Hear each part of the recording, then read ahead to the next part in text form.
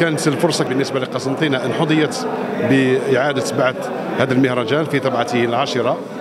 هذه الطبعه اللي اعطيناها اعطيناها شعارها أصالة وتواصل حتى نبني جسور التواصل ما بين الفنانين وما بين المبدعين ما بين الشباب وما بين كبار الفنانين على على مستوى الجزائر أو على مستوى قسنطينة.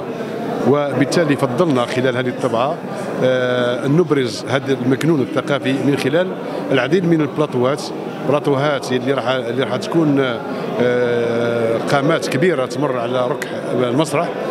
في في شكل انسجام كبير ما بين الفنانين.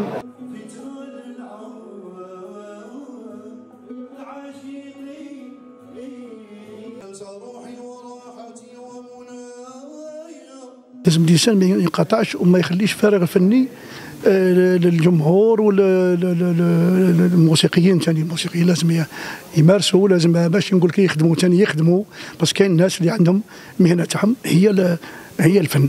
هذه أنا نتمنى إن شاء الله تكون مستمرة وهالمهرجان يدوم إن شاء الله.